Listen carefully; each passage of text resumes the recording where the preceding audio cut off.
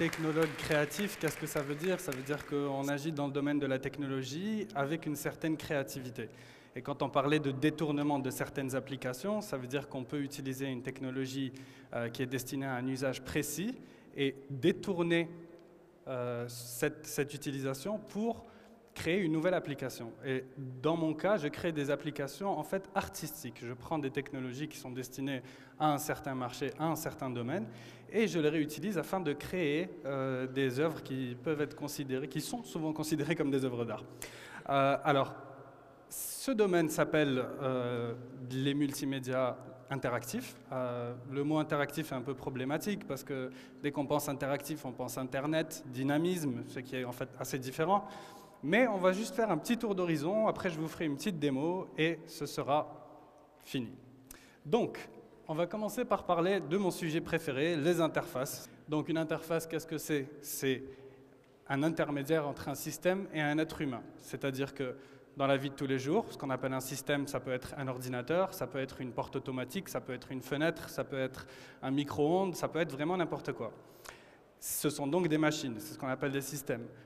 On les contrôler en tant qu'être humain. Malheureusement, on ne peut pas leur parler directement en disant micro-ondes, réchauffe-moi mon, mon, café. Il va rien faire. Donc, on a besoin de ce qu'on appelle une interface qui vient s'installer au milieu et qui permet à l'être humain de parler à ce système, donc cette machine.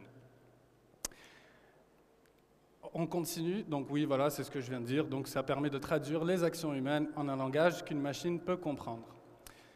Dans un exemple donc précis, euh, plus concret, disons, euh, une interface classique, ce serait un clavier, n'est-ce pas? C'est ce qui nous permet de communiquer avec notre ordinateur. La souris également, bien sûr, c'est les deux stars, disons, des interfaces, des interfaces les plus classiques. Plus récemment, on a vu d'autres interfaces un peu plus modernes euh, qui, sont aussi destinées à des domaines précis, comme par exemple les tablettes graphiques pour les designers ou encore tout ce qui est écran tactile, qui est bien sûr très populaire depuis 2005 euh, à peu près. Donc, au final, on va regarder un cas de figure en particulier. On a un être humain, n'est-ce pas? On a l'interface, maintenant on sait ce que c'est, c'est ce qui permet de passer les actions humaines en un langage qu'une machine peut comprendre. Et j'ai rajouté un mot en dessous de interface, c'est le mot senseur, parce qu'en fait les interfaces sont des, euh, assemblages électroniques qui permettent de sentir ce qui se passe dans le monde physique et de le traduire en action euh, dans le monde, ce qu'on appelle digital, n'est-ce pas? Donc ces senseurs-là, donc par exemple dans le cas d'un clavier, c'est les boutons, dans le cas d'une souris, c'est les senseurs infrarouges pour savoir quand est-ce qu'on la bouge, ainsi que les boutons et la roulotte du milieu. Et ça, ça nous permet de contrôler l'ordinateur.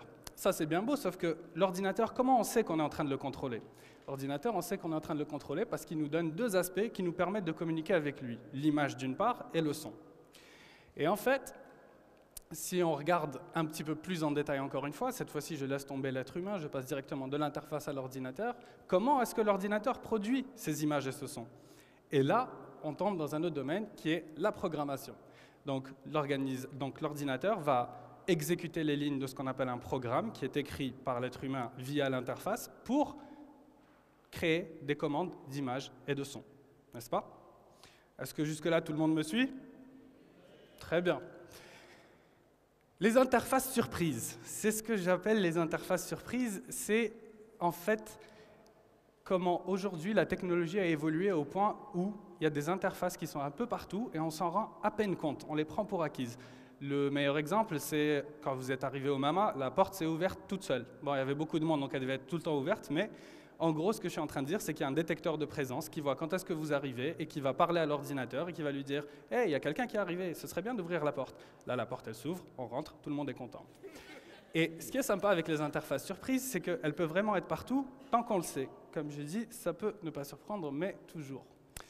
Donc, euh, là, je voulais vous poser une question. Est-ce que, que vous pensez qu'on peut contrôler de la musique C'est-à-dire, est-ce que vous pensez que je peux dire à mon ordinateur de démarrer de la musique sans le toucher?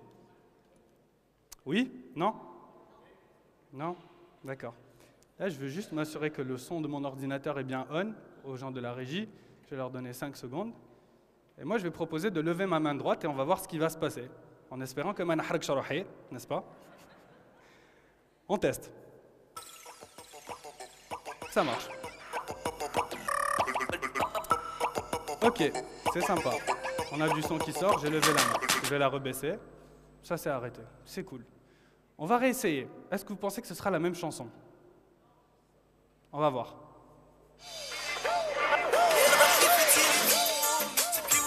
On est dans un autre registre. Hein.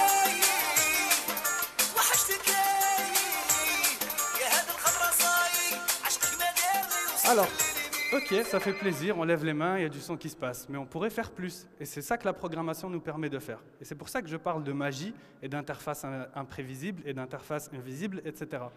On va faire un autre test, je vais balancer un autre son, et cette fois-ci avec ma main gauche, je vais aussi contrôler le volume. Donc on démarre le son, et là je lève ma main, je baisse le son, je rajoute le son, je baisse le son, je rajoute le son, encore plus vite.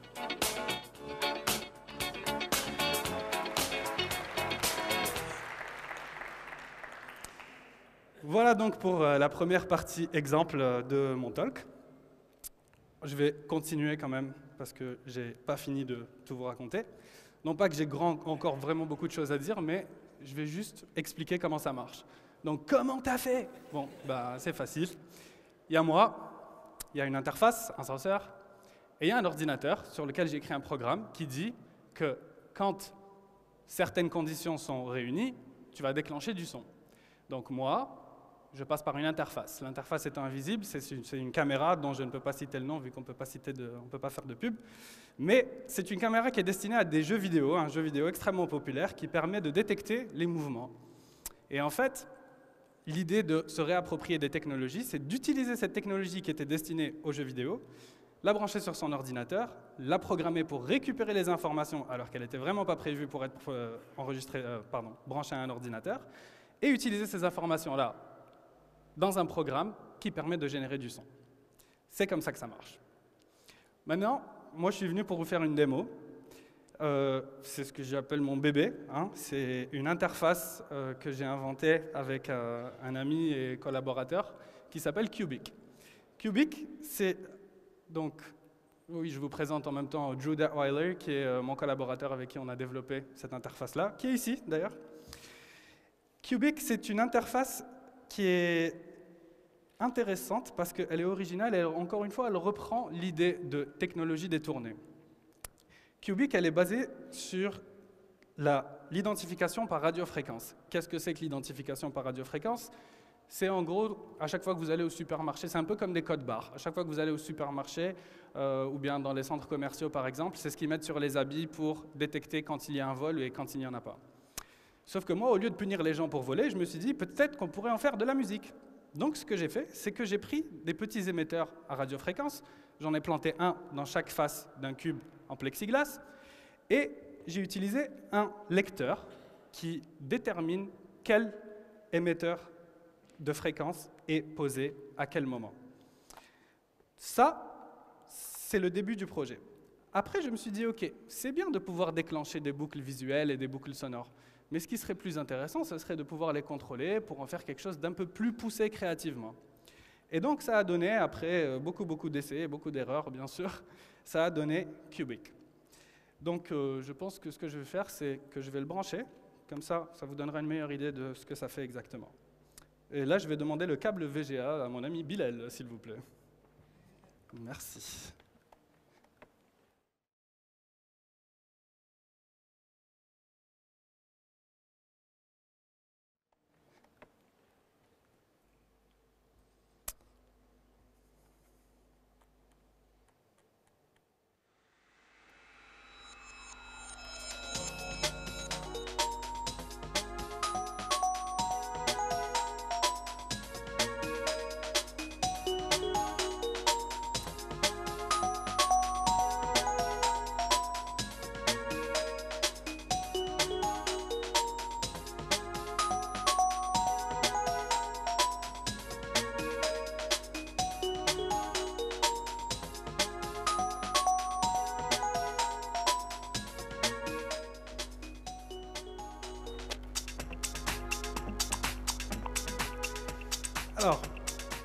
Expliquer ce qui se passe. Ça, c'est mon interface donc graphique. Euh, en gros, en fait, ce serait bien de me laisser un petit peu de son, comme ça je peux expliquer et montrer exactement ce qui se passe. Donc on a chaque cube qui est associé à une piste sonore.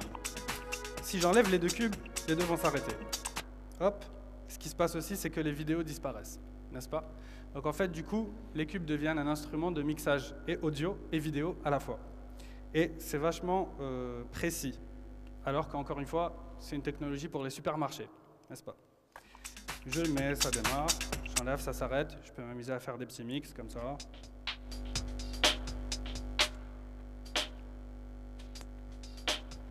Continuer. Et le côté sympa, encore une fois, c'est que on a on me demande d'augmenter le volume. Le côté sympa, c'est qu'on a aussi un mix vidéo que je peux contrôler en temps réel. Donc en fait, j'ai plusieurs effets ici. Ils sont en train de changer. On a le kaléidoscope, le zoom, la couleur et la rotation qui fait en sorte que je peux contrôler la vidéo. Je suis par exemple en mode rotation sur la vidéo de droite, donc c'est celle du bateau qui se balade, et hop, je la fais tourner. Je peux décider de lui faire changer de couleur, et hop, elle devient plutôt rouge, on est repassé au vert, on passe vers du bleu, etc. Même chose pour le zoom, si on revient vers là, on peut rentrer plutôt beaucoup dans la vidéo ou ressortir. On a aussi un mélangeur de vidéos, c'est-à-dire que comment est-ce qu'on mélange les vidéos, ça peut changer selon les boutons euh, qu'on a ici, les différents modes. Et ça peut donner vraiment, c'est pour ça en fait qu'on parle d'art numérique et de créativité dans le domaine des arts visuels euh, et audiovisuels et multimédia, c'est parce qu'on crée du son et de l'image et que c'est dynamique. On le fait aussi sur une interface, comme j'ai dit, qui n'existe pas, donc qui est vraiment un pur produit, euh, si vous voulez, d'expérimentation et de recherche qui a été mené petit à petit. Le côté sympa, c'est que ça a vraiment une application vachement diverse. Là aussi, on peut changer de registre. Là, on est plus dans quelque chose de allez, loungy ou je ne sais quoi. Mais on peut décider d'être euh, un peu plus bad boy. Passer sur euh, du rap, par exemple.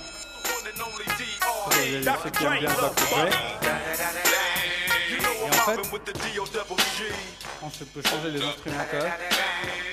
Et en fait, on fait jamais de fausse notes. Ça, c'est la programmation qui permet de faire ça. Parce que si on met donné ces disques-là à quelqu'un qu'on lui disait fais le DJ, il se prend très sincèrement et sûrement. Parce que là, il n'y a pas droit à l'erreur et en fait, il n'y a pas possibilité de faire une erreur.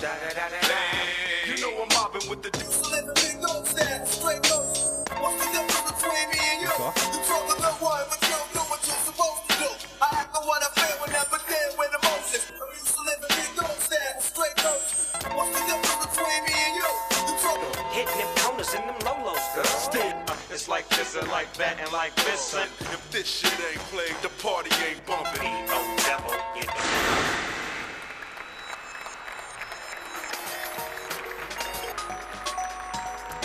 Merci beaucoup.